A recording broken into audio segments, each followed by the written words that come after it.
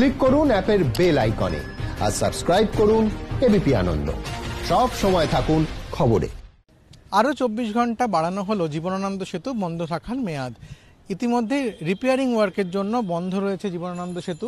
বাইপাসের সঙ্গে যাদবপুরের সংযোগকারী এই সেতু, তার রিপেয়ারিং ওয়ার্ক চলছে। কলকাতা পুলিশ সূত্রে জানানো হয়েছে যে কাজ সম্পূর্ণ না হওয়ায় এই বন্ধ থাকার মেয়াদ আরও চব্বিশ ঘণ্টা বাড়ানো হয়েছে। আশা করা যায় আগামী কাল থেকে এই সেতুর কাজ শেষ করে খুলে দেওয়া হবে।